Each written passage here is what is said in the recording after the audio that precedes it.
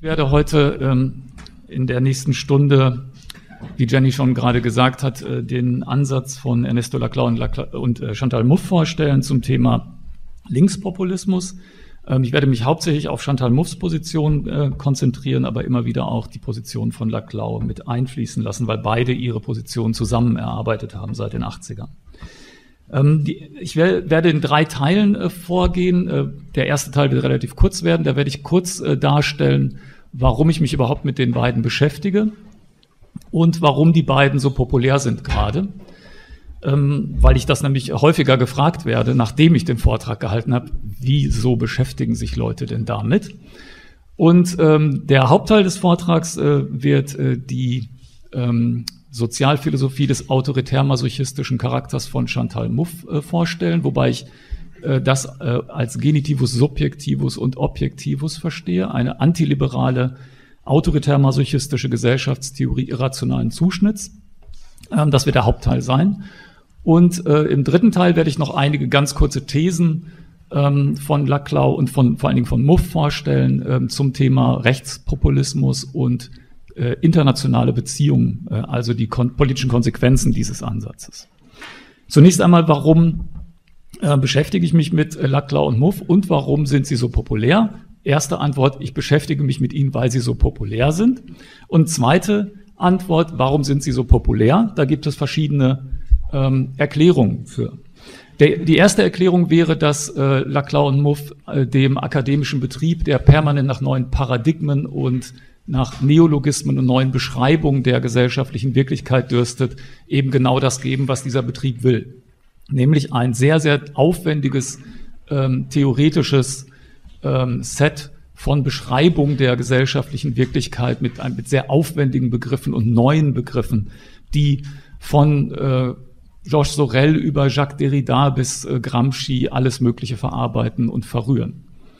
Das heißt, das ist äh, attraktiv für den akademischen Betrieb. Man kann da vielen Einflusssträngen nachspüren und es ist was Neues.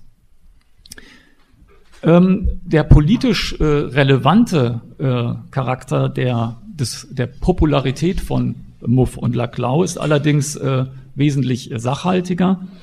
Die ähm, Gesellschaftstheorie von Laclau und Muff, die gibt einer politisch verunsicherten Linken nach dem wirklichen oder vermeintlichen, das lasse ich hier mal offen, Scheitern sozialistischer und bürgerlicher Emanzipationsversprechen einen theoretischen Ausdruck. Also sowohl der Gedanke der bürgerlichen Emanzipation eines rationalen Individuums äh, im Kontext einer wohlstandverheißenden Marktgesellschaft ähm, ist gescheitert, als auch der sozialistische Emanzipationsanspruch eines äh, revolutionären Proletariats und einer solidarischen Weltgesellschaft ist gescheitert. Ähm, so zumindest die, äh, die Diagnose von Muff und so natürlich auch die weit verbreitete Wahrnehmung. Ähm, Muff und Laclau geben dieser Enttäuschung und dieser Verunsicherung einen kontingenztheoretischen Ausdruck. Das bedeutet, Kontingenz tritt an die Stelle von Fortschritt als Grundkategorie der Gesellschaftstheorie. Kontingenz im Sinne einfach erstmal, es kann alles anders sein, es gibt keine notwendigen Entwicklungen und keine gerichtete Entwicklung in Richtung Emanzipation. Ähm, der zweite Grundbegriff, der diese Verunsicherung ähm, ausdrückt, würde ich erstmal sagen. Ich würde nicht sagen, dass er die, die Verunsicherung auf den Begriff bringt, aber zumindest ausdrückt, ist der Begriff der Intransparenz des Sozialen. Ähm, neben der Kontingenz äh, ein zweiter Grundbegriff. Das heißt, das Soziale ist undurchsichtig, nicht rational planbar, prinzipiell opak. Ich werde da noch weiter drauf eingehen. Ähm, diese sehr pessimistische, ähm, dieser sehr pessimistische Gedanke wird allerdings jetzt nun wieder positiv gewendet. Das heißt, Kontingenz und Intransparenz haben für Laclau und Muff auch einen ein äh, implizites Versprechen neuer politischer Handlungsfähigkeit, zwar nicht mehr auf der Ebene großer Erzählung und großer ähm, kollektiver oder individueller äh, Emanzipationssubjekte, aber auf so einer mittleren Ebene, auf einer Ebene von neuen hegemonialen Projekten, von Verschiebungen von politischen Kräfteverhältnissen. Auf dieser Ebene, gerade weil alles kontingent und ungerichtet ist, verspricht die Theorie von äh, Muff und Laclau eben neue Handlungsfähigkeit. Und auch darauf werde ich noch weiter eingehen. Schließlich als dritter Punkt ähm, ist der Ansatz vor allen Dingen von Muff in den letzten Jahren so populär geworden, weil Muff sich gegen die äh, neoliberale Hegemonie äh, wendet. Das heißt, gegen die Idee, dass Politik nichts anderes mehr ist als eine Sachzwangverwaltung. Also ähm, der Ausgangspunkt, der ist für vor allen Dingen für Linke natürlich sehr ähm, attraktiv.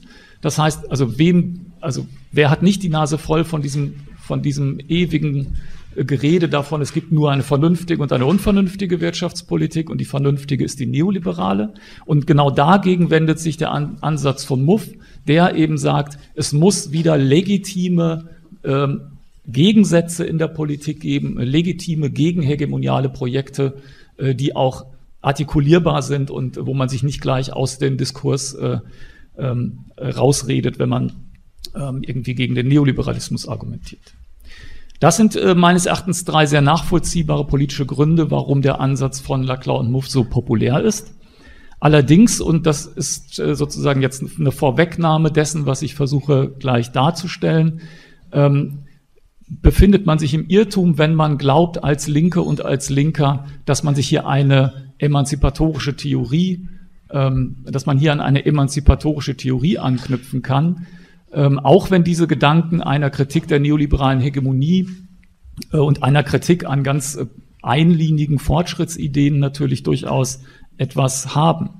Was man sich nämlich einhandelt ist, und deswegen heißt der, heißt der Vortrag auch die postmoderne Querfront, eine poststrukturalistisch begründete, ähm, weitgehend auf die Klingel weitgehend auf äh, faschistischen Positionen ähm, beruhende Gesellschaftstheorie. Also deswegen Querfront. Querfront bedeutet für mich nicht, dass äh, Laclau und Muff sich auf der organisatorisch-politischen Ebene mit Rechten ähm, gemein machen wollen, sondern Querfront bedeutet eine ähm, Überschneidung von äh, linken und rechtsradikalen Theoretikerinnen und Theoretikern in der Beschreibung gesellschaftlicher Verhältnisse. Also auf der grundlegenden sozialtheoretischen, grundbegrifflichen Ebene gibt es hier eine Querfront. Worin besteht die Querfront? Das werde ich gleich ausführen. Sie besteht in einer irrationalistischen Gesellschaftstheorie, die letztlich eine Ablehnung von Vernunft und moralischem Universalismus beinhaltet und auf der politischen Ebene mit einem antiwestlichen und antiamerikanischen Ressentiment arbeitet. Die äh, politischen Konsequenzen werde ich im dritten Teil nur stichwortmäßig äh, ansprechen. Zum ersten Teil oder zum, oder zum zweiten Teil, zum Hauptteil äh, des Vortrags. Ich behaupte, dass die ähm, Sozialphilosophie oder Sozialtheorie von Muff und Laclau eine Sozialphilosophie des autoritär-masochistischen Charakters ist und das werde ich gleich im Laufe de, dieses Teils genauer erläutern, was das bedeuten soll. Zunächst einmal ähm, kann man den, die gesellschaftstheoretischen Grundlagen von Muff als einen sozialtheoretischen Antiliberalismus begreifen, weil nicht etwa die Rechte oder der Rechtspopulismus ist der Hauptgegner ähm, von Chantal Muff, sondern der Liberalismus ist der Hauptgegner.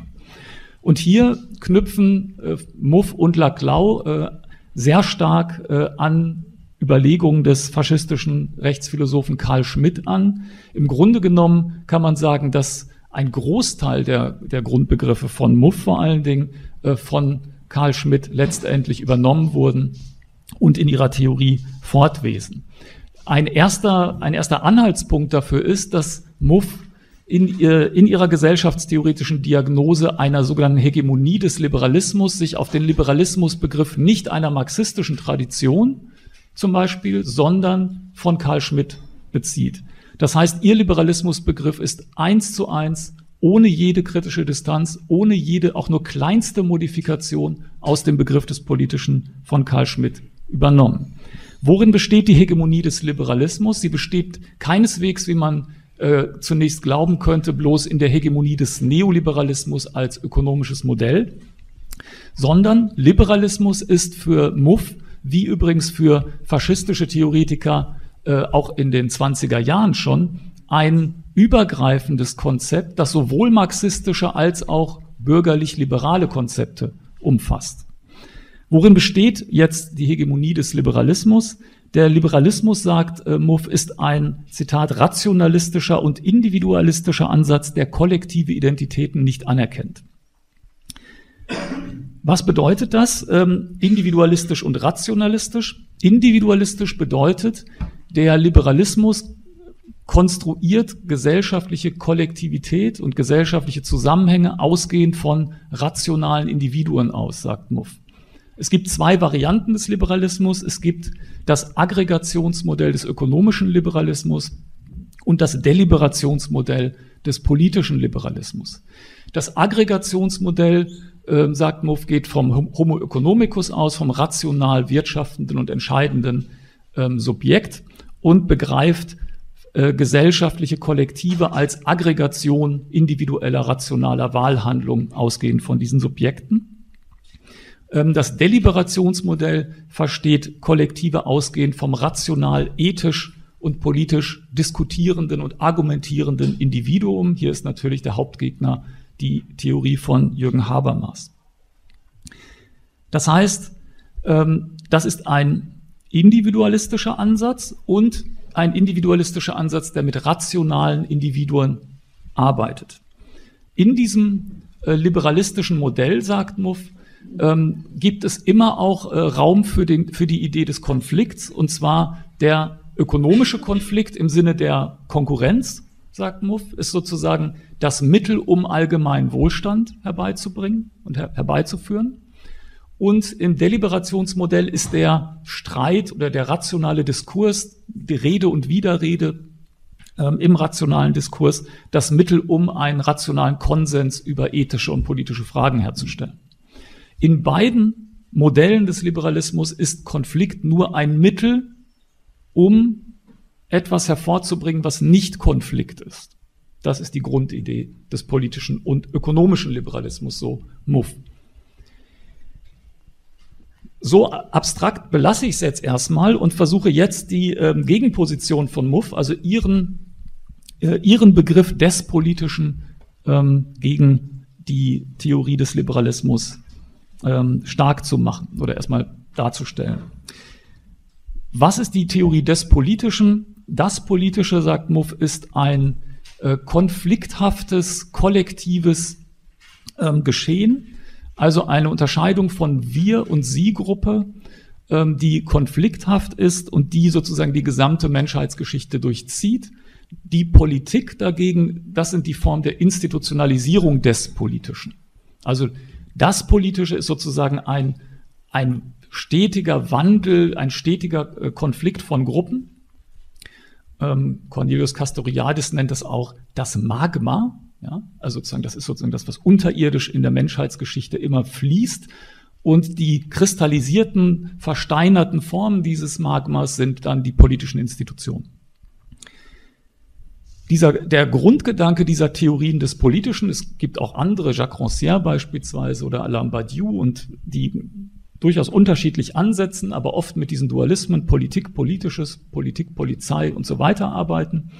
Äh, der Grundgedanke ist der, dass ähm, es erstens eine Ewigkeit der Streitgründe gibt. Das heißt, diese Kollektive zwischen Menschen, die finden niemals ein Ende in einer versöhnten Gesellschaft, in einer, in einem allgemeinen Wohlstand, in einem rationalen Konsens oder wie auch immer man dieses Ende des Konflikts begreifen kann. Das heißt, Konflikt ist ewig. Und das ist eine Theorie, die sich als Politontologie begreift. Das heißt, menschliches Sein ist immer ewig, kollektiv, konflikthaft. Das ist die Grundidee. Also erstens die Ewigkeit der Streitgründe ist die, ähm, die erst ist das zentrale Dogma dieser Theorie. Ich sage, es ist ein Dogma, weil man an keiner Stelle dieser Theorie auch nur den Ansatz oder den Versuch einer Begründung dieser Idee der Ewigkeit der Streitgründe findet. Das ist einfach ein dogmatisch gesetzter Ausgangspunkt. Dieses Dogma oszilliert allerdings immer zwischen einer deskriptiven und einer normativen Theorieebene. Und ähm, auch da knüpft, knüpft Muff äh, sehr stark an Karl Schmidt an. Es gibt da eine sehr starke Ambivalenz schon bei Schmidt. Schmidt spricht ebenfalls vom Politischen als Schicksal, also sozusagen, das ist unentrinnbar dass es Wir-Sie-Gruppen gibt, die im Konflikt miteinander stehen. Und auf der anderen Seite fürchtet er eine Welt ohne Politik, sprich eine befriedete Welt ohne die Möglichkeit des Krieges. Darauf gehe ich gleich noch ein.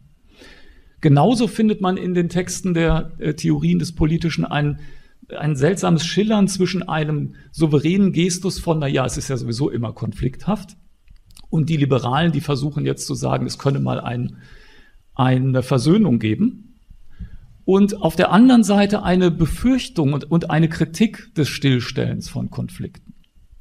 Ja, man kann, man könnte, wenn man etwas zugespitzt sagen, der einzige normative Aspekt dieser Theorien des Politischen ist, dass Streit weiter möglich bleiben muss und dass Streit an sich gut ist. Diese Idee der Ewigkeit der Streitgründe und dieses Schillern zwischen deskriptiver und normativer Theorieebene führt bei diesen Theorien des Politischen, bei sämtlichen Ansätzen, auch jenseits von Laclau und Muff, zu einer normativen Bevorzugung der Instituierung gegenüber der institution institutionalisierten Praxis, zu einer normativen Bevorzugung des Wandels, des Aufbrechens von Normen gegenüber Normen, egal welcher Art. Das heißt, es ist gut, wenn, wenn Normen aufgebrochen werden, egal welche Normen das sind. Da, da zeigt sich dieser Ansatz der Theorie des Politischen als ein genuin politexistenzialistischer Ansatz. Ich werde auch gleich nochmal auf diesen Begriff des Politexistenzialismus eingehen. Ähm, Im Politexistenzialismus der 20er, 30er Jahre findet man auch immer diesen Punkt, dass es gut ist, dass Normen zerbrochen werden oder Institutionen zerbrochen werden und eine Begeisterung für Konflikt bis hin zum Krieg. Der zweite Punkt neben der Ewigkeit der Streitgründe ist die Nichtfixierbarkeit der Streitgründe oder die Unbestimmtheit der Streitgründe. Das Politische steht, wie schon bei Karl Schmidt, nicht für einen bestimmten Sachbereich der Gesellschaft, zum Beispiel das Gewaltmonopol des Staates, sondern eben für einen inhaltlich nicht bestimmten Konflikt zwischen Wir-Gruppe und Sie-Gruppe. Und das bedeutet, dass eigentlich alles Inhalt dieses Streits werden kann. Und da diese Theorie des Politischen von Muff und Laclau ähm, spätestens seit den 80er Jahren äh, keine gesellschaftstheoretische oder ökonomiekritische Fundierung mehr hat, gerade der Gedanke der Fundierung wird fundamental abgelehnt, ist ein Non-Fundamentationalismus ähm, oder Post, ja, Fundamentationalismus. Ähm, das bedeutet, dass es keine Gründe gibt, die man, wie Sie sagen, a priori ausmachen kann, äh, die sozusagen Menschen zum Konflikt bringen. Auch darauf werde ich gleich nochmal eingehen. Und der dritte Punkt, und ähm, der ist äh, besonders wichtig äh, für den Ansatz von Muff, ähm, neben der Ewigkeit und der Nichtfixierbarkeit und Unbestimmtheit der Streitgründe die Irrationalität der Streitgründe. Das heißt, die Theorie des Politischen von Muff steht explizit gegen die Annahme, dass Menschen rational handelnde oder diskutierende Akteure sind. Die Grundlage von Kollektiven sind Affekte. Auch das werde ich gleich äh, genauer darstellen. Das heißt, das Politische besteht in, wie Muff sagt, einer nicht rational entstandenen, nicht rational entscheidbaren Wir-Sie-Unterscheidung, die immer eine konflikthafte ist. Im Unterschied zu Karl Schmidt versucht Muff jetzt allerdings ähm, und da ist sie sehr speziell, da unterscheidet sie sich von anderen äh, Theorien des Politischen, versucht sie, den Begriff des Politischen in zwei Varianten zu denken. Bei Karl Schmidt ist die Wir-Sie-Unterscheidung, die Unterscheidung von Freund und Feind, das Politische. Das Politische ist der höchste Intensitätsgrad einer Trennung und Verbindung von Menschengruppen. Und wann ist dieser höchste Intensitätsgrad erreicht?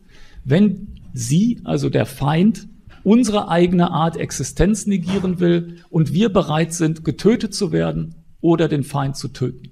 Das ist der höchste Intensitätsgrad einer Trennung und Verbindung von Menschengruppen und das ist das Politische für Schmidt. Muff sagt nun, das ist eine mögliche Form des Politischen. Das nennt sie Antagonismus. Es gibt aber auch noch eine, ähm, eine nicht antagonistische Form des Konflikts von wir und sie. Das nennt sie Agonismus.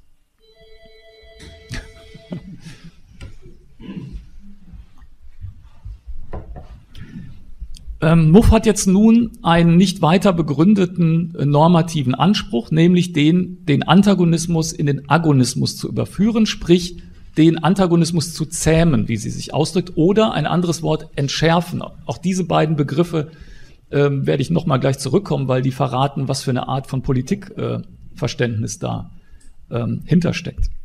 Was ist die Entschärfung des Antagonismus?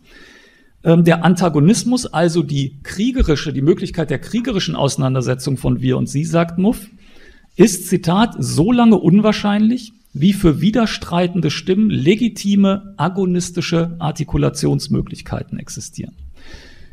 Was bedeutet das? Das bedeutet, dass es legitim ist, zum Beispiel zu sagen, ja, es gibt auch eine andere Wirtschaftspolitik als die neoliberale und international vor allen Dingen begriffen. Es gibt auch eine andere Lebensweise als die westliche. Das bedeutet, ähm, dass es sozusagen eben legitime Konflikte gibt, aber legitim im Sinne von nicht, dass wir den Konflikt jetzt aufheben wollen und in einer Versöhnung enden lassen wollen, sondern die sind ganz anders als wir, aber die Andersheit halten wir aus. Aber ganz anders nun doch nicht, sondern ähm, ein agonaler oder agonistischer Konflikt ist für Muff einer, der Zitat durch ein symbolisches gemeinsames Band zusammengehalten wird. Und wie sieht das in einer Demokratie aus? Oder in einer, also Muff hat tatsächlich ein, ein starkes Votum für parlamentarische Demokratie. Da unterscheidet sie sich radikal von anderen Theorien des Politischen, die eher so neoanarchistisch sind. Ähm, aber das ist jetzt auch nicht notwendig ableitbar aus ihren Prämissen. Das ist einfach gesetzt. Ja, sie findet es einfach cooler. Parlamentarismus. Ähm, was ist in einer parlamentarischen Demokratie die agonale ähm, Art der Auseinandersetzung? Das ist ein symbolischer Kampf. Es wird nicht mehr ja, existenziell gekämpft, sondern symbolisch gekämpft mit Worten und Verfahren. Und dieses symbolische gemeinsame Band besteht in, der, in dem Satz, Zitat, Freiheit und Gleichheit für alle. Das ist das symbolische gemeinsame Band, das den Konflikt vom kriegerischen Existenziellen zum symbolischen Agonalen entschärft und das den sozusagen zusammenhält. Ich will hier an dieser Stelle schon zwei kurze Fragezeichen setzen.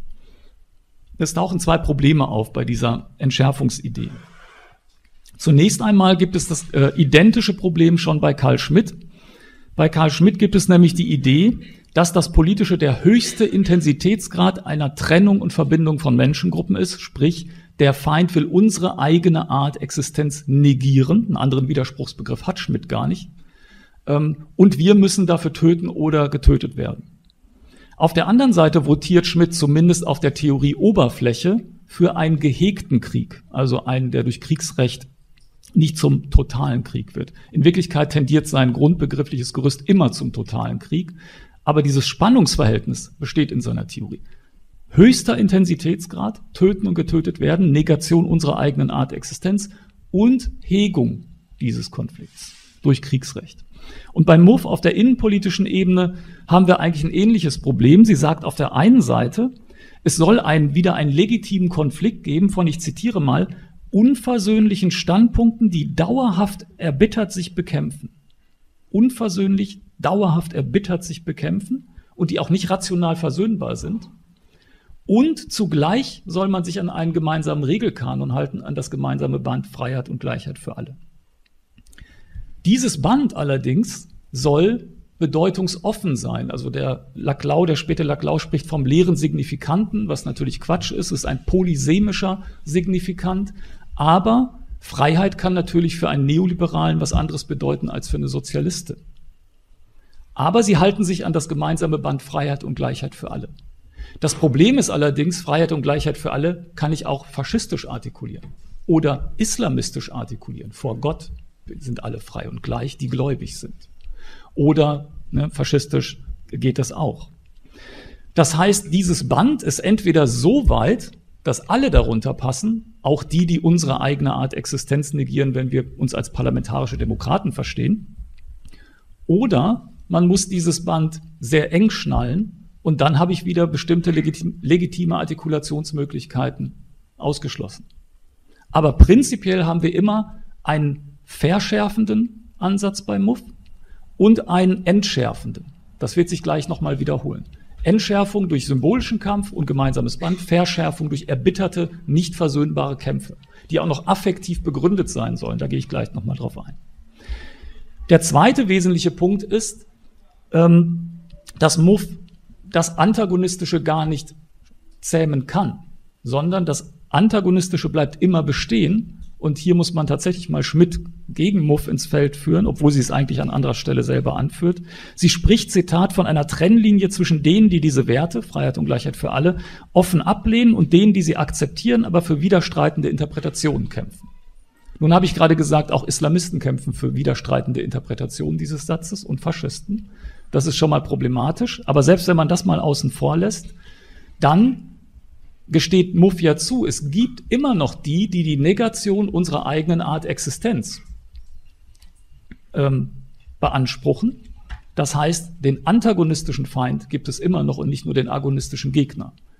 Das heißt, wenn ich jetzt sage, Freiheit und Gleichheit für alle, verstehe ich jetzt in einem parlamentarisch-demokratisch-liberalen, wie auch immer Sinn, dann sind die Islamisten der Feind. Und das Antagonistische ist eben nicht gezähmt und nicht aus der Welt.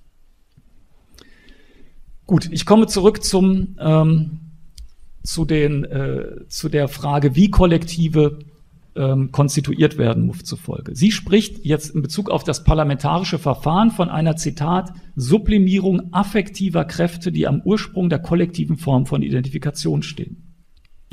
Parlamentarismus bedeutet, dass sich die 51, dass sich die 49 Prozent in 51 Prozent geschlagen geben. Das bedeutet nicht, Zitat, bedeutet nicht, dass die Menschen nun imstande wären, rational zu handeln, sondern die geben sich einfach geschlagen. Gut, ihr habt 51. Vielleicht das nächste Mal. Das klingt jetzt erstmal nach einer durchaus realistischen Beschreibung parlamentarischer Politik, weil das wissen wir, glaube ich, alle, dass es nicht äh, um einen herrschaftsfreien, rationalen Diskurs geht, wenn es äh, in parlamentarischen Abstimmungen äh, Mehrheitsentscheidungen gibt. Aber der Witz bei MUF ist, das wird in die grundbegriffliche und grundlagentheoretische Ebene gezogen.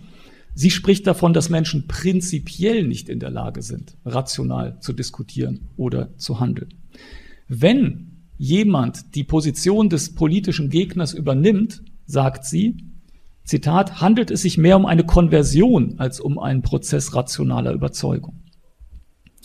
Konversion, das ist ein klassisch politex oder existenzialistischer und in dem Kontext politexistenzialistischer Topos, der Sprung in den Glauben, der keine Begründung hat.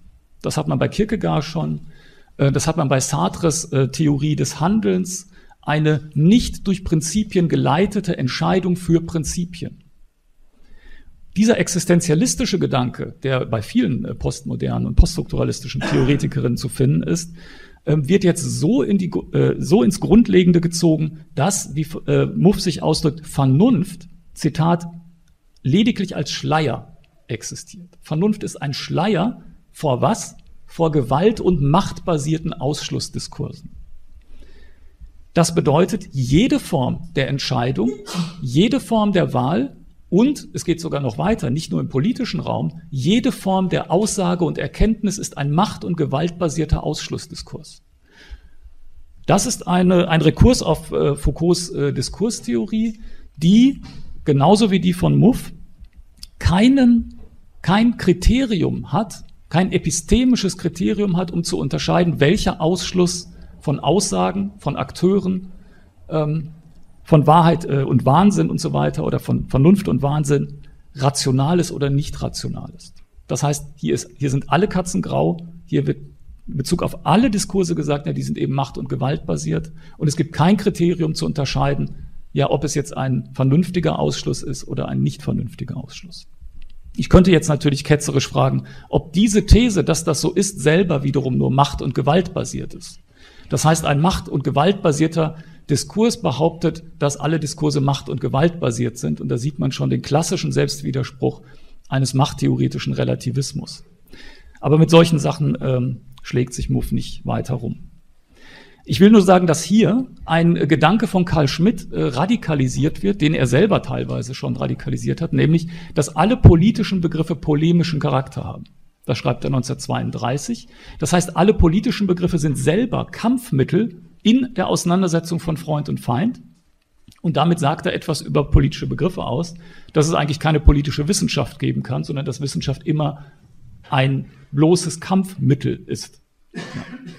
Schmidt macht das dann auch noch radikaler ähm, ab 1933 spricht er davon, dass äh, derjenige, der artfremd ist, zwar Bücher lesen und schreiben mag, aber er liest sie gemäß den äh, Gedanken und äh, Ideen seiner eigenen Art. Er wird niemals verstehen können, was ein Deutscher denn äh, von Recht äh, oder über Recht denkt. Das wird ein Jude niemals verstehen können. Dieser völkisch-rassistische Relativismus wird in dem Poststrukturalismus nicht völkisch-rassistisch, aber kulturalistisch und diskurstheoretisch verallgemeinert. Gut, ähm, das heißt, diese Idee der Irrationalität der ähm, Verfahren und der sozusagen des sich geschlagen gebens wird hier ins Grundlagentheoretische geführt, so dass epistemische und pragmatische Begründungen nicht mehr voneinander unterscheidbar sind. Also Wahrheit von, naja, Zustimmungsfähigkeit, pragmatischer, erpresster oder wie auch immer Art sind nicht mehr unterscheidbar.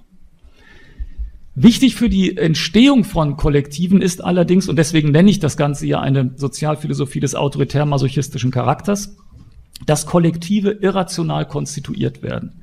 Ich zitiere jetzt Muff. Nach welchem Muster werden Kollektive konstituiert? Durch den, Zitat, Trieb, der den Wunsch der Menschen erweckt, mit der Masse zu verschmelzen und sich dabei selbst in ihr zu verlieren. Also ein Trieb ist das. Manchmal spricht sie auch von Instinkt. Also hier geht es nicht um, hier geht es darum, das irgendwie zu ontologisieren. Hier geht es nicht um wissenschaftliche Exaktheit, weil Triebe und Instinkte sehr unterschiedliche Sachen sind. Der Trieb, der den Wunsch der Menschen erweckt, mit der Masse zu verschmelzen und sich dabei selbst in ihr zu verlieren. Dieses sich verlieren in der Masse bedeutet emotionale Gratifikation für die Individuen. Zitat, um politisch zu handeln, müssen Menschen sich mit einer kollektiven Identität identifizieren können, die ihnen eine aufwertende Vorstellung ihrer selbst anbietet. Und zwar immer im Gegensatz zum Gegner oder Feind. Ja, wir sind aufgewertet im Gegensatz zum Gegner. Nicht wir sind aufgewertet, weil wir Menschen sind oder was auch immer. Diese beiden Elemente sind erstaunlich äh, ähnlich zu der Theorie des autoritären Charakters und des kollektiven Narzissmus äh, von Erich Fromm und Theodor Adorno. Ähm, diese Theorie des autoritären Charakters von Fromm und Adorno besagt, dass in einer Gesellschaft, in der die Menschen zur Ohnmacht angehalten werden und Individualität nur als marktvermittelte Prekarität erfahren, sie vor dieser Individualität, vor dieser Prekarität fliehen in den vermeintlichen, meist bloß imaginären Schutz von großen, starken Kollektiven, die ihnen Teilhabe an großer Macht versprechen, zum Beispiel die Nation. Durch die Nation erhalten die Individuen sozusagen das zurück, was sie äh, als, als prekäre Individuen nicht erlangen können, nämlich ein starkes, vermeintlich sicheres Selbstwertgefühl als Deutscher, als Arier oder was auch immer. Dieses, diese Flucht vor der Freiheit, wie Fromm das genannt hat, ist aber ein historisch spezifisches, irrationales Verhalten oder eine irrationale Reaktion auf gesellschaftlich produzierte Ohnmacht, statt diese ohnmachtsgenerierenden Mechanismen rational zu gestalten und zu verändern durch Reform oder Revolution. Das heißt, es ist ein regressives, sozialpathologisches Verhalten dieser diese Flucht vor der Freiheit in das Kollektiv der Nation, der Rasse und so weiter. Dieses, diese Diagnose wird nun von Muff zurückgewiesen, also beschäftigt sich nicht, sich nicht explizit mit den beiden, aber äh, implizit. Sie sagt, das ist ein ewiger Trieb, das, der gehört zur psychischen Ausstattung des Menschen. Das heißt, die Idee einer Emanzipation von diesem sich selbst durchstreichenden, die eigene Individualität negierenden Aufgehen in der Masse wird hier grundbegrifflich negiert, grundbegrifflich verunmöglicht. Von dieser Ausgangsbasis gibt es jetzt nur noch zwei Möglichkeiten. Es gibt unsere Affektpolitik und ihre Affektpolitik. Aber eine Politik jenseits der Affekte gibt es nicht mehr. Sie spricht von einer, Zitat, politischen Mobilisierung von Leidenschaften innerhalb des Spektrums des demokratischen Prozesses, äh, an dem es ihr liegt. Wie werden diese Affekte, ich würde, ich nenne das jetzt mal den Affektteig, ähm, weil das ist ja sozusagen etwas, was ähm, noch geformt werden muss. Ja, wir haben, wir wissen jetzt, dass Menschen sich selbst aufgeben wollen, imaginär oder real und in einer Masse aufgehen wollen und von dieser Masse her ihren Selbstwert wiedergewinnen wollen. Ähm, aber welche Art von Kollektiven werden wie konstituiert? Diese Grundlage mit dem Affektteig ist erstaunlich für eine, eine poststrukturalistische Theorie, die sich als anti-essentialistisch begreift, ja geradezu eine biologistische Theorie. Ja, es ist ein, ein krudester Essentialismus im Sinne von einem ewigen Wesen des Menschen, der das alternativlos in dieser autoritären Weise sich Kollektiven unterwirft. Jetzt wird auf diese, äh, auf dieses merkwürdig essentialistische Modell nun eine poststrukturalistische, relativistische äh, Diskurstheorie aufgepfropft. Ich würde sagen aufgepfropft, weil mir ist der innere Zusammenhang zwischen diesen beiden Theorieebenen einfach überhaupt nicht klar. Es wird auch nicht, nicht erläutert, ne, wie, wie das sozusagen zusammenhängen soll. Aber dieser nicht essentialistische Teil ist meines Erachtens mindestens genauso problematisch wie der irrationalistisch-essentialistische Teil, weil er nämlich auch irrationalistisch ist. Und das werde ich jetzt gleich versuchen zu erläutern. Wie wird aus dem Affektteig ein Förmchen gestochen, das wir heißt und ein Förmchen, das sie heißt? Durch die Bildung von Äquivalenzketten. Durch Äquivalenzketten wird diese politisch-masochistische Libido zu bestimmt konturierten Gruppen ausgestochen und geformt und erhält eine Gestalt. Was ist eine Äquivalenzkette? Eine Äquivalenzkette ist eine diskursive Gleichsetzung von diskursiv konstruierten Subjektpositionen. Diskursiv bedeutet, Diskurs ist, äh, äh, die, äh, die Definition von Diskurs ist, dass Elemente zu Momenten einer relativen Totalität artikuliert werden. Damit könnt ihr bestimmt ganz viel anfangen jetzt. Elemente sind Signifikanten, die durchaus selber schon eine Bedeutung haben können die aber jetzt in einen Diskurs, in einem Diskurs verknüpft werden und durch die Verknüpfung eine neue Bedeutung erlangen. Beispiel für eine Äquivalenzkette, ich zitiere einfach mal Laclau-Muff selbst. Die Arbeiterklasse, die Bauernschaft, das Kleinbürgertum, fortschrittliche Fraktionen der nationalen Bourgeoisie. Wir. Und auf der anderen Seite die internationalen Banken und das Finanzkapital. Sie. Das sind jetzt Zitate von Laclau-Muff und von Muff. Also das ist eine Äquivalenzkette, weil hier werden, also ihr könnt es auch so lesen, die Arbeiterklasse gleich die Bauernschaft, gleich das Kleinbürgertum, gleich fortschrittliche Fraktionen der nationalen Bourgeoisie und auf der anderen Seite die internationalen Banken, gleich das Finanzkapital. Also hier wird was gleichgesetzt. Das, was gleichgesetzt wird, die Subjektpositionen sind diskursiv konstruiert und die Gleichsetzung ist selber diskursiv konstruiert. Bezeichnenderweise spricht Laclau schon in seinen eher noch marxistischen Arbeiten aus den 70er Jahren vom Äquivalenzdiskurs des Marktes. Gebrauchswerte würden Marx zufolge durch einen Diskurs gleichgesetzt, obwohl sie gar nicht gleich sind. Ja, also es ist eine diskursive Gleichsetzung. 20 Ellen Leinwand gleich ein Rock durch einen Diskurs. Ich sage, es ist gleich und so ist es dann auch. Das ist die These von Laclau. Es gibt nicht irgendwas Gemeinsames, es gibt nicht irgendein gesellschaftliches Verhältnis, das jenseits der diskursiven Gleichsetzung steht. Diese Äquivalenzketten konstituieren nun, und jetzt komme ich endlich zu dem Populismus, einen anti-essentialistischen Populismus. Was allerdings essentialistisch ist, ist sozusagen die Affektbasis. Was ist jetzt anti-essentialistisch? Dieser Begriff ist sehr vage und bedeutet eine ganze Menge in diesen poststrukturalistischen Theorien. In diesem Kontext bedeutet das, dass die Gleichsetzung, ich wiederhole das jetzt nicht, Arbeiterklasse, Bauernschaft und so weiter, noch ein allgemeines Äquivalent erhalten, nämlich das Volk. Und auf der anderen Seite der Gegner, die Volksfeinde oder die Eliten oder wie auch immer man sie nennt. Die klassische populistische Entgegensetzung von wir das Volk gegen die Eliten ist hier, hiermit konstituiert. Und was zunächst einmal als eine spezifisch politische Strategie erscheint, wird eigentlich immer mehr, je später die Arbeiten werden von Laclau-Muff, zu, zu der einzigen politischen äh, Form, überhaupt Politik betreiben zu können. Populismus. Das alles andere ist nur noch Verwaltung von Differenzen und Sachzwängen. Und Politik wird eigentlich identisch mit Populismus.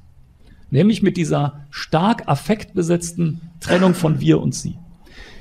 Das heißt, was ist daran anti-essentialistisch? Wir haben diese Gleichsetzung von Klassenfraktionen, wie ich das jetzt nochmal ganz altertümlich nennen würde, mit dem Volk. Und Laclau setzt noch einen drauf. Es kann noch eine weitere Gleichsetzung nehmen, die ein bloßer Name ist, zum Beispiel Perron, Hitler. wer auch immer. Also gleich das Volk, gleich Peron oder gleich Hitler oder gleich kann man jeden populistischen äh, Agitator einsetzen. Anti-essentialistisch ist das nun, weil es weder eine gemeinsame ökonomische Basis dafür gibt für die Gleichsetzung, noch Blut und Boden im Sinne ethnisch homogener äh, ja, Vorstellung äh, im klassischen völkischen Nationalismus. Es gibt keinen vorpolitischen gemeinsamen homogenen Volkswillen, wie es den noch bei Karl Schmidt gibt, der sich dann in der populistischen Konstruktion das Volk gegen die Eliten ausdrückt. Es gibt da nichts mehr. Das ist alles politisch konstruiert. Es gibt aber auch keine materiellen Interessen mehr. Die sind auch alle diskursiv konstruiert. Also Anti-Essentialismus bedeutet, auf dem Fuße dieser Gleichsetzung gibt es nichts. Es ist ein performativer Akt. Ein performativer Akt ist eine sprachliche Operation, die das, worüber gesprochen wird, im Akt des Sprechens hervorbringt. Also zum Beispiel, ich gratuliere Ihnen zum Geburtstag. Ich ernenne Sie zum Bundeskanzler, obwohl das funktioniert auch meist nicht, ne, wenn nicht institutionelle Hintergründe da sind. Äh, ich verspreche dir. Das sind alles performative Akte. Und nach diesem Muster denken sich Laclau-Muff jetzt die Bildung von Kollektiven durch diskursive Konstruktion. Diese diskursive Konstruktion soll, oder man weiß es nicht, ist sie immer oder soll populistisch sein, Sie soll sich in, Zitat, national popularen oder populardemokratischen Symbolen Subjektpositionen, die von denen der Klasse verschieden sind, nämlich Volk oder Nation oder Führer, ähm, kristallisieren. Genau. Warum ist das antiessentialistisch? Nochmal ein Zitat. Weil die Einheit zwischen diesen Akteuren einer Äquivalenzkette nicht der Ausdruck eines gemeinsam zugrunde liegenden Wesens ist, sondern das Resultat politischer Konstruktion und politischen Kampfes. Es gibt auch im klassischeren äh, Marxismus, also nicht im poststrukturalistischen, gibt es auch schon diese sehr extrem konstruktivistisch antistrukturalistische Idee, dass Klassen nur durch Klassenkämpfe existieren. Also Klassen, was sind Klassen? Das, was Klassen tun. Und das halte ich für einen fatalen Fehler, diese Konstruktion. Was sind jetzt die beiden zentralen Probleme dieser Konstruktion? Es gibt sozialtheoretische und politisch-psychologische Probleme. Die sozialtheoretischen. Es gibt meines Erachtens zwei Möglichkeiten. Diese Konstruktion einer Äquivalenzkette, also eines Kollektivs, ist ja die Konstruktion eines kollektiven Willens, der Menschen zu politischer Aktion mobilisiert.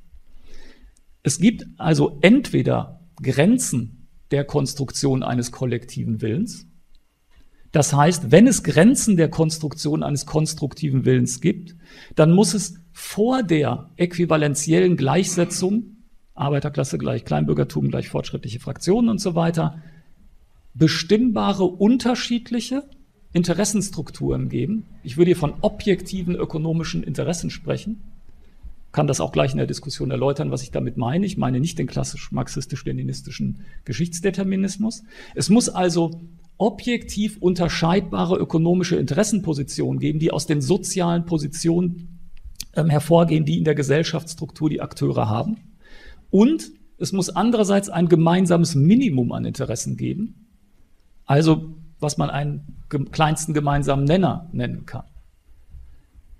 Und wenn ich das unterstelle, dann ist der Anti-Essentialismus passé, weil dann gibt es nämlich wieder ein gemeinsames Wesen, im klassischen philosophischen Sinne von Usia, wie Aristoteles das verwendet, natürlich nicht als ewiges Wesen, aber zumindest als wesentliche, bestimmende Eigenschaft einer Identität, eines Wesens, einer Entität.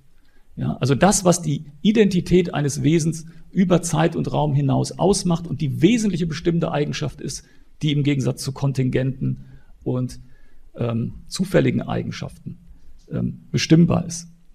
Dann gibt es aber ein gemeinsames Wesen. Diesen Weg gehen Muff und Laclau nicht. Also man könnte ja auch eine Hegemonietheorie genau so konstituieren. Das machen sie aber nicht. Sie gehen den anderen Weg. Sie gehen den Weg, dass die handlungsleitenden Interessen der hegemonialen Konstellation ausschließlich politisch konstruiert sind und Klassen nichts anderes sind als das, was Klassen tun. Das führt zu einer beliebigen diskursiven Formung des formlosen politischen Affektteigs. Hintergrund ist eine durchaus berechtigte Kritik am Ökonomismus der zweiten Internationale und der dritten Internationale. Also Laclau-Muff sagen völlig zu Recht, also in ihren 80er Jahre Arbeiten in Hegemonie und radikale Demokratie, dass die gemeinsame soziale Position auf der ökonomischen Ebene noch nicht zu kollektiven politischen Aktionen führt. Das halte ich für eine vollkommen berechtigte Kritik. Sie gehen jetzt ähm, mit Georges Sorel, einem präfaschistischen ähm, Denker, der 1907 sein Hauptwerk geschrieben hat über die Gewalt, ähm, gehen Sie jetzt da, gehen Sie davon aus, dass sich kollektive Handlungseinheiten auf politischer Ebene nicht durch ökonomische Interessen begründen. Sorel sagt, die Ebene der Konstitution kollektiver Akteure ist nicht das ökonomische Interesse, sondern was ist jetzt die Einheit? Der Mythos. Was konstituiert die Einheit? Der Mythos. Und was sind Mythen? Mythen sind in Gestalt von Schlachtbildern zum bedingungslosen Kampf motivierende irrationale Wollungen, sagt Sorel. Das heißt, was, was bringt die Einheit, für Sorel damals noch der Arbeiterklasse, was bringt die Arbeiterklasse dazu, bedingungslos und unversöhnlich gegen die Bourgeoisie zu kämpfen? Bestimmte Mythen, die, die sozusagen eine gemeinsame Vorstellung vom Kampf, vom erfolgreichen Kampf beispielsweise äh, der Generalstreik äh, hervorbringen. Diese Bilder sind aber nicht in ökonomischen Interessen fundiert. Ähnlich wie Karl Schmidt später lehnt äh, Sorel den Gedanken, dass man für die Verbesserung ökonomischer Lagen kämpft, ab. Ihm geht es um den Kampf selbst. Er findet den Klassenkampf gut, weil er Kampf ist, nicht weil es um die Verbesserung der Lage der Arbeiter geht. Das hat Karl Schmidt später ganz klar erkannt und ihn für eine irrationalistische Theorie unmittelbarer Gewaltanwendung, wie er das genannt, genannt hat, reklamiert, und zwar völlig zu Recht. Auf diesen Theoretiker berufen sich Laclau Muff äh, ganz äh, zentral. Aber sie radikalisieren seinen Ansatz noch, wie ich gerade schon angedeutet habe. Bei, bei äh, Sorel gibt es wenigstens noch Klassenpositionen und nur auf der Ebene kollektiver politischer Handlung wird durch den Mythos eine Einheit hergestellt. Bei Laclau-Muff wird aber jetzt selbst die ökonomische Position nur durch einen Mythos hervorgebracht. Das heißt, sie radikalisieren diesen Gedanken Sorels ähm, und sagen, dass ähm, Klassen nur im Kampf existieren, Zitat, da sich ihre Identität nicht mehr auf einen Prozess der basalen Einheit gründen lässt. Und basale Einheit bedeutet, es gibt hier keine jenseits diskursiver politischer Konstruktion und konfliktuöser Kämpfe existierende wesenhafte Bestimmung einer Klassenposition. Klasse ist das, was als Klasse definiert wird. Die Position ist das, was als die Position definiert wird. Freilich nicht individuell, sondern kollektiv. Ich zitiere nochmal Laclau-Muff. Der entscheidende Punkt ist, und dies macht Sorel zum tiefschürfendsten und originellsten Denker der zweiten Internationale, dass die Identität der sozialen Akteure selbst unbestimmt wird und dass jegliche mythische Fixierung derselben von einem Kampf abhängt. Interessen und politische Identitäten sind also für Laclau-Muff nichts anderes mehr als Produkte diskursiver Konstruktion und eines politischen Willens, die zum kollektiven Handeln motivieren sollen. Die politische Repräsentation von Interessen ist nichts anderes als die Hervorbringung von Interessen durch die Anmaßung ihrer Repräsentation. Ein performativer Akt. Indem ich behaupte, dass ich Interessen repräsentiere, bringe ich die Interessen, die ich repräsentiere, überhaupt erst hervor. Okay. Zitat nochmal, es gibt überhaupt keine logische Verbindung zwischen den Positionen in den Produktionsverhältnissen und der Mentalität der Produzenten. Zitat Ende. Logische Verbindung, das ist ein typischer Punkt äh, bei Laclau-Muff. Äh, Sie drücken sich immer hinreichend unklar aus. Sie sprechen auch manchmal von a priorischen, ähm, äh, einer a priorischen Basis. Aber wer behauptet, dass es eine a priorische, das heißt erfahrungsunabhängige, aller Erfahrung vorgängige Basis von Interessenkonflikten gibt? Niemand behauptet das. Ja. Das zeigt sich auch, wie wie schluderig die überhaupt mit, mit äh, philosophischen Begriffen umgehen, aber sie machen das ganz suggestiv. A priorisch, nein, das kann es nicht sein. Wenn es nicht a priorisch ist, wenn es nicht absolut determiniert ist, wenn es keine logische Verbindung zwischen ökonomischen Positionen und Identitäten gibt, was ist ihre Konsequenz? Es gibt gar keine. Es ist indeterminiert. Determinismus oder absoluter Indeterminismus. Andreas Hetzel, Professor für Philosophie in äh, Hildesheim und äh, Anhänger von Laclau und Muff, bringt das sehr schön und zwar affirmativ, also findet das gut den Ansatz auf den Punkt. Zitat: Das Politische gründet in seinem je konkreten Vollzug. Es kennt darüber hinaus keine transzendentalen Bedingungen seiner Möglichkeit, keine ihm selbst vorgängigen Vernunft oder Rechtsgründe. Das Politische ruht buchstäblich auf nichts. Zitat Ende. Das ist eine radikal dezisionistische und irrationalistische Sozialontologie, die man eben im Existenzialismus weit verbreitet findet. Deswegen sind viele Poststrukturalisten äh, nichts anderes als ins Politische gewendete Existenzialisten die, ich habe es schon gerade angedeutet, die Idee haben, dass menschliche Entscheidungen vollständig unbegründete Entscheidungen für Gründe sind. Und unbegründet meint nicht nur nicht, Prinzip, nicht durch Prinzipien geleitet, also zum Beispiel durch ethische Prinzipien, sondern auch nicht durch materielle Bedürfnisse geleitet, sondern da ist nichts. Dieser äh, dezisionistische Gedanke von Entscheidungen ist ein Indeterminismus und ein Indeterminismus ist ein Determinismus. Und zwar der radikalste Determinismus, den man sich vorstellen kann, nämlich wenn Menschen durch nichts geleitet Entscheidungen fällen, dann ist es so, als ob sie absichtslos eine Treppe herunterfallen. Und nach diesem Muster denken sich Laclau-Muff die Konstitution von Identitäten und Interessen. Der zweite Punkt, die politisch-psychologischen Konsequenzen des Ansatzes. Ich habe es schon gerade angedeutet. Dieser Ansatz verharmlost, wie ich finde, tatsächlich regressive kollektiv-narzisstische Bedürfnisstrukturen, nämlich den autoritär-masochistischen äh, Charakter, zu politisch neutralen Affekten, die es jetzt nur noch so oder so zu manipulieren gilt. Und manipulieren ist genau das, wie sich Laclau-Muff Politik vorstellen. Die Begriffe, dass der Antagonismus in den Agonismus gezähmt oder entschärft werden soll, sind verräterisch. Laclau-Muff stellen sich als Diskursingenieure vor, die das Volk als Bombe oder Tier begreifen. Ja, das muss man, da muss man den Dompteur spielen durch richtige diskursive Kniffe, deren Affekte in die richtige Bahn lenken. Und die richtige Bahn ist, der Linkspopul ist die linkspopulistische Anrufung von wir das Volk gegen die Eliten. Ich gehe gleich nochmal darauf ein. Das hat noch einen spezifischen Inhalt, diese Feinderklärung. Muff meint, dass diese Wir gegen Sie Konstruktion politisch neutral und inhaltsleer sei. Das ist sie aber keineswegs. Der zweite Punkt ist, Muff glaubt, die immer damit verbundenen giftigen nationalistischen oder auch antisemitischen projektiven Feinderklärungen, die mit dieser Wir-Sie-Konstruktion auf affektiver Basis einhergehen, die in diesen Formen kollektiver Identifizierung stecken, durch den Hinweis auf die Konstruiertheit des Populismus entschärfen zu können. Und da haben wir wieder ein Spannungsverhältnis. Muff plädiert für eine gleichzeitige Verschärfung, nämlich die Leute sollen affektiv, unversöhnlich und radikal gegen den Gegner kämpfen. Aber sie sollen sich von Laclau Muff immer wieder sagen lassen, ist ja alles bloß als ob.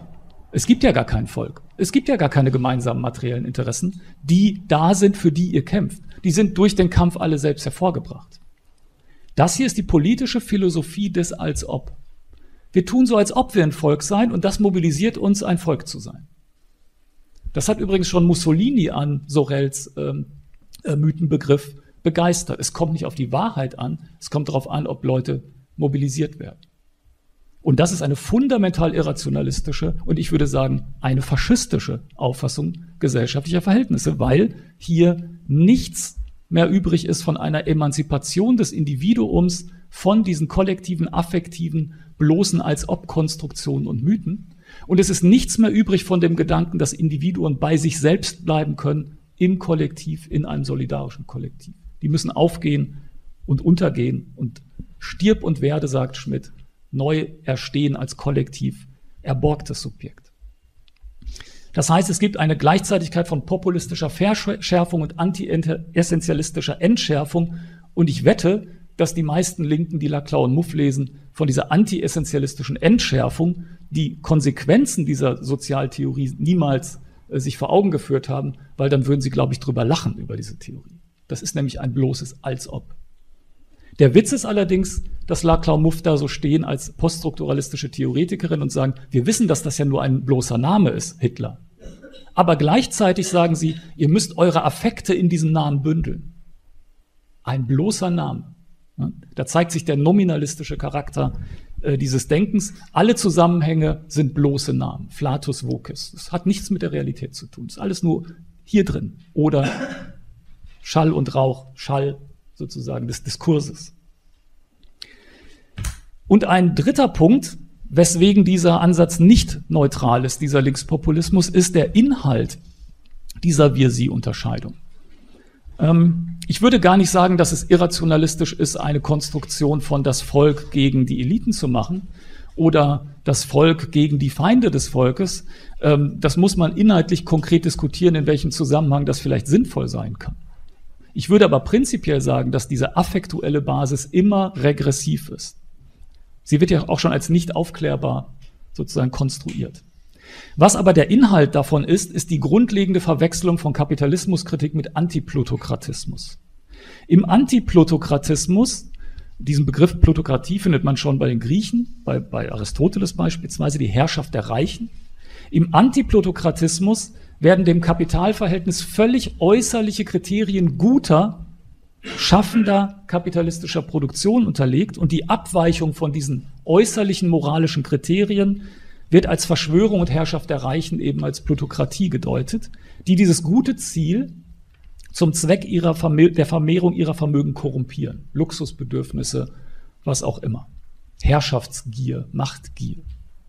So kommt Laclau bereits in den 1970er Jahren auf die Idee, dass das Ressentiment der Nazis gegen die ideologischen Konstrukte des jüdischen Finanzkapitals ein auf halber Strecke stehen gebliebener Antikapitalismus gewesen sei, der nur noch hätte, Zitat, erweitert werden müssen zu einem konsequenten Antikapitalismus. Das heißt, Laclau und Muff sehen gar nicht, dass dieser Antiplutokratismus ein, wie Postone sich ausdrückt, fetischistischer oder man könnte sagen, gar kein Antikapitalismus ist, sondern nur bestimmte Personengruppen und künstlich herausgeschnittene und dann auch wieder moralisierte Elemente kapitalistischer Gesellschaft als das Böse schlechthin und den Rest als gute, schaffende, eigentlich neutrale Produktion konstruiert. So wettert nicht nur Chantal Mouffe gegen, Zitat, transnationales Kapital und die Banken. In diesem linksschmidtianischen Diskurs findet man immer wieder die Rede vom Gegensatz der 99% des Rest of Us gegen the Rich, für deren Financial Enjoyment wir ausgebeutet würden. Die Zitate waren von Jody Dean, The Communist Horizon. Dieser Populismus ist keineswegs eine bloße Form, sondern wie Zeff Sternhell, der Faschismustheoretiker, anmerkt, Zitat, eine Variante der Allianz aller Produzierenden gegen die Schmarotzer.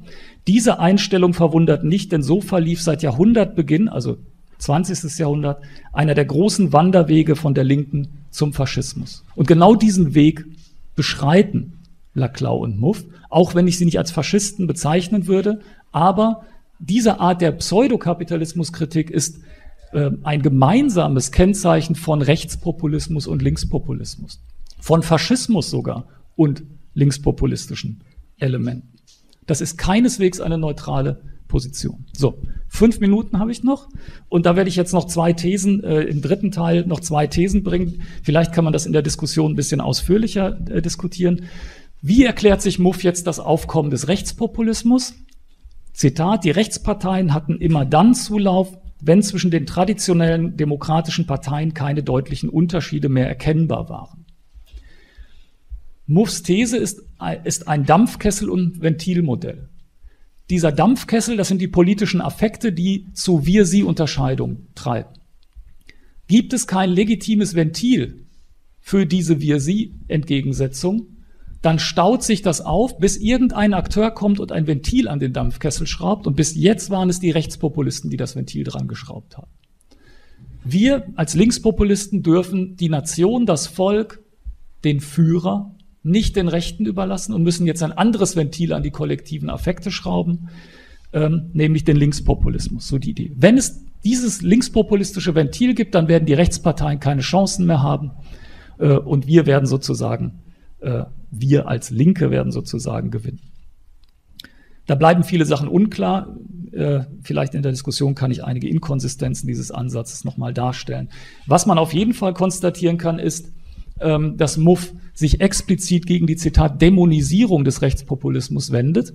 Äh, und sie meint damit eine Kritik nach moralischen Kriterien und stützt sich auch hier wieder vollständig auf Karl Schmidt, der sagt, wenn ich, wenn ich sage, das sind Feinde der Menschheit, dann entmenschliche ich den Feind und dämonisiere ihn. Ähm, und äh, das führt zu einem Antagonismus, also zu Krieg. Äh, ich würde behaupten, das ist genau das, was die Rechtspopulisten machen, zumindest die, äh, die extremen Varianten des Rechtspopulismus, nämlich eine moralisierende, dämonisierende Verschärfung und Dämonisierung des Gegners. Also das scheint mir sehr projektiv zu sein äh, gegenüber dem Liberalismus. Angeblich sei der Liberalismus das, in Wirklichkeit ist es der Rechtspopulismus oder der Linkspopulismus. Ähm, für MUF muss es unerklärlich bleiben, dass Menschen 50 Jahre lang mit einer großen Koalition wie in Österreich relativ zufrieden und ruhig sein können. Das kann, gar, kann sie ganz sich gar nicht erklären, weil sie nicht von ökonomischen Interessen ausgeht, sondern es gibt ja nur dieses Dampfkesselmodell. Und da müsste eigentlich nach einem Jahr großer Koalition Schluss sein, ne? weil da ist nichts mehr mit Dampf ablassen. Gut, der zweite Punkt, ähm, da, wie gesagt, das habe ich hier nur, man, man müsste dann noch viel mehr, ähm, könnt ihr dann in dem Text, der Ende des Jahres veröffentlicht wird, äh, noch genauer nachlesen, müsste man noch viel genauer darauf eingehen, dass MUF sich auch nie auf die Inhalte der Rechtspopulisten bezieht, nie auf den Führerkult, nie auf den Nationskult, äh, dass sie auch öko ökonomische er Erklärungen weitgehend außen vor lässt. Also das müsste man alles auch noch berücksichtigen. Der zweite Punkt, der mit ihrem Anti-Universalismus verbunden ist. Sie lehnt universelle moralische und epistemische ähm, Kriterien ja ab, ist, der, ist die Ebene der internationalen Politik. Da sagt sie, das muss, müssen wir genauso denken. Wir haben seit 1989 eine, Hyper, eine einzige Hypermacht, die USA, und die macht alles platt mit ihrem Anspruch auf eine einheitliche westliche Lebensweise. Durch diesen westlichen amerikanischen Imperialismus gibt es eine Gegenreaktion, eine, Agonist, eine antagonistische, nämlich den islamistischen Terror. Wenn wir aber anderen Kulturen eine legitime Ausdrucksform ihrer besonderen jeweiligen anderen Kultur bieten, zum Beispiel dem radikalen konservativen Islam, dann wird es keinen Terror mehr geben und dann wird es eine internationale Agonale, nämlich nur noch symbolischen Kampf geben. Sie lehnt universelle moralische Werte ab und ist eine radikale Kultur, äh, äh, Kulturrelativistin. Sie spricht zum Beispiel von einheimischen Demokratien. Ja, das hat Karl Schmidt 1923 auch schon gemacht, als er den faschistischen Begriff von Demokratie entwickelt hat. Ähm, sie spricht von einheimischen Demokratien und lehnt den westlichen Lebensstil ab. Und da wird sie sehr allgemein. Plötzlich gibt es nur noch den westlichen Lebensstil und nicht mehr eine sozialistische, eine neoliberale oder was auch immer Artikulation des westlichen Lebensstils. Aber viel interessanter ist wieder, dass wir wieder dieses Dampfkessel- und äh, Ventilmodell haben. Und ich will nur kurz anmerken, ähm, dass ein radikaler konservativer Islam ein expansionistisches, imperialistisches Weltbeherrschungsprogramm ist. Das heißt, dieses Programm können wir nicht entschärfen, indem wir sagen, Ihr dürft in eurem Großraum, das ist nämlich ihre Idee, in eurem Großraum dürft ihr eure Idee von Kultur ausleben und dann werden die sich nicht mehr in die Luft jagen, weil dann haben sie ja legitime Kanäle, sich zu artikulieren. Genauso gut hätte man Hitler 1939 sagen können, ja gut, das ist dein Großraum, ne, bleib mal da und dann gibt's keinen gibt's keinen Krieg. Genauso stellt sich Muff das vor und das zeigt, dass sie sich kein bisschen für die Inhalte zum Beispiel islamistischer Ideologien oder die Inhalte eines äh, imperialen oder die Tradition eines imperialen Islam beispielsweise interessiert. Sie sieht nur reaktive Marionetten, die sozusagen auf westlichen Imperialismus reagieren. Und das ist natürlich eine in der Linken weltweit leider sehr äh, verbreitete, billige ähm, Idee. Gut, ähm, ich werde es äh, hiermit äh, bewenden lassen. Warum nochmal äh, zusammengefasst? Warum ist das eine Querfront? Es ist eine Querfront, weil die grundlegenden theoretischen Kategorien von Laclau und Muff letztlich ultrakonservative bis, wie ich meine, faschistische Ideen beinhalten. Eine Nichtplanbarkeit, Intransparenz, Kontingenz des Sozialen, einen radikalen Dezisionismus und mythenbasierten Voluntarismus der Identitäten hervorbringt, äh, die Ablehnung der Idee, ähm, in irgendeiner Weise gesellschaftstheoretisch rekonstruierbarer materieller Interessen und einen radikalen Anti-Individualismus, der schon in den, in den Grundkategorien der Gesellschaftstheorie die Unmöglichkeit individueller Emanzipation von kollektivistischer Unterordnung ähm, postuliert. Das heißt, die Verheißung autoritär-masochistischer, regressiver Bedürfnisbefriedigung ist etwas, was sowohl faschistischen als auch dieser postmodernen, ähm, poststrukturalistischen äh, politischen Theorie gemeinsam ist. Nicht, nicht zufällig ist immer in den späteren Schriften von Muff eigentlich der Hauptreferenzpunkt äh, Karl Schmidt. Und äh, Sie merken sozusagen, Sie haben früher in den 80er Jahren sich nicht auf Karl Schmidt bezogen, aber Sie merken immer mehr, dass Ihre Theorie eigentlich dahin treibt. Sie hat schon in den 80er Jahren eigentlich große Deckungsgleichheit gehabt.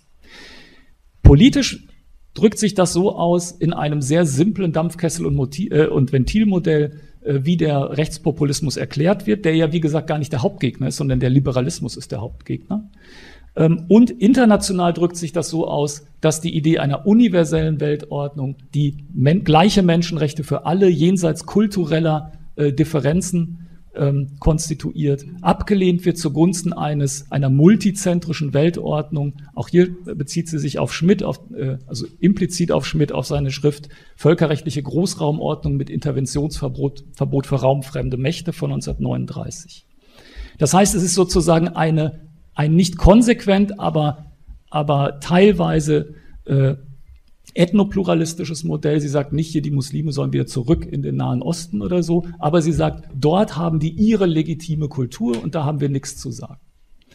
Das heißt, das, was da rauskommt politisch, ist ein moralischer Anti-Universalismus, ein regressiver und repressiver Kulturrelativismus und eine wie eine Anhängerin von Laclau Mouffe das positiv ausdrückt. Banu Bagu heißt die, Zitat, eine productive convergence of the far right and the far left.